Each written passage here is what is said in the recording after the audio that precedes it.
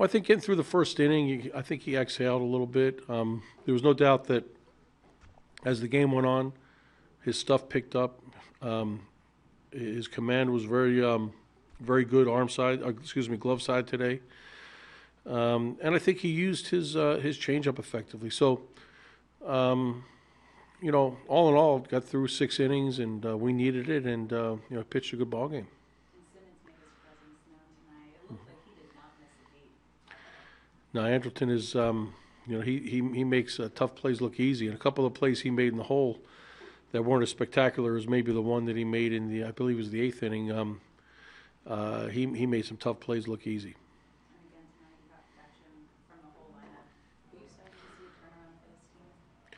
Well, I think on the offensive side, we've been seeing it for probably, you know, the last 20 games or so. I think we're attacking the ball better and uh, pressuring other teams. Um, you know, uh, as we, we said, um, you know, our turnaround's going to happen when our rotation gets in order, and uh, that'll help to to get our bullpen roles where they need to be. But on the offensive side, I think we've um, we have some guys that are are starting to contribute.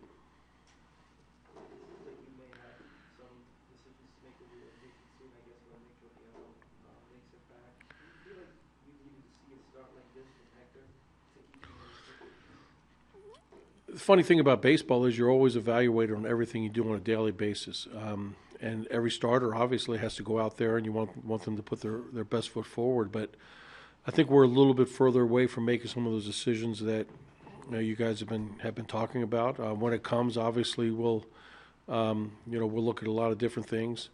I don't think there's, uh, I don't think any one of the guys that are in rotation right now need to go out there and say, um, it's do or die. Uh, I don't know if you're going to, you know, uh, I don't know if you're going to pitch your, your best game under those situations. Uh, you need to be focused, but you don't want to put any extra pressure on you. Uh, but the reality of baseball is everybody's evaluated every time you, per, you know, go out there to perform, and um, uh, hopefully we'll, you know, see some outings like uh, like Hector had tonight, um, and that, that's going to make us a better team.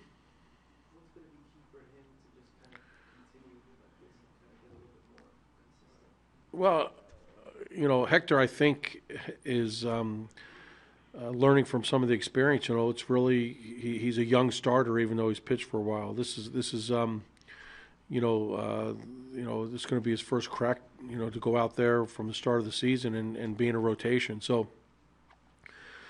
Uh, if the struggles that he had his last five starts make him a better pitcher, then they're worth it. Um, if it if it doesn't, it takes him the wrong way, then that's that's a shame. So, um, I think he's made some adjustments. I think that uh, he had a good frame of mind tonight. Um, I think that he uh, he went out there and did what he was trying to do, and um, you know got some big outs. Obviously, uh, after he got the two nothing lead to, to hold it, um, and and uh, gave us six good innings.